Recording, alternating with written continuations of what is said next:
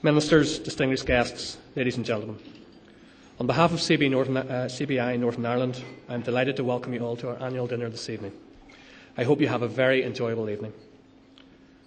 I'm particularly delighted that Sir John Parker is with us to provide our keynote address, and I'm very much looking forward to that. I'm also delighted that Arlene Foster, MLA, Minister of Enterprise, Trade and Investment, and a sterling supporter of CBI, will also share some thoughts with us this evening. John, Arlene, you're most welcome. I would also like to welcome our other distinguished guests, Minister Stephen Farry and Alex Attwood. We also have a range of other friends and guests this evening from the business sector, public sector, education, and the media. You are all very welcome. And a particularly warm welcome tonight to my colleague, the CBI Scottish Chair, Nosheena Mobarik. Nosheena, you're taking the time from your duties in Scotland is very much appreciated.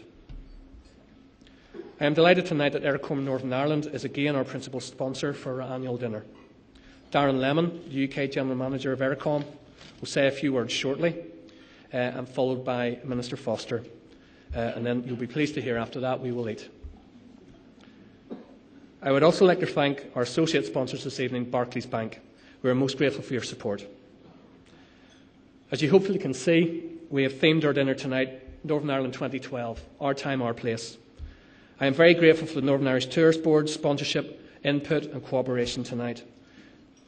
This isn't just about tourism potential, although we have an ambition to double our tourism revenues to 1 billion by 2020, but a great opportunity this year to continue to build on Northern Ireland's image abroad.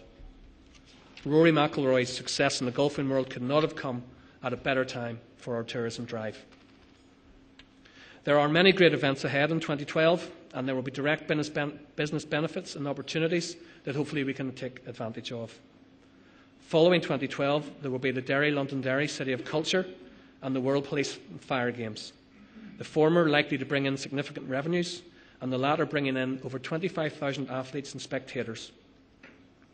However, while it is right to look forward and look positively, we at the CBI do have some concerns as to where we are today and what we need to do to get our economy match fit. But more of that later on.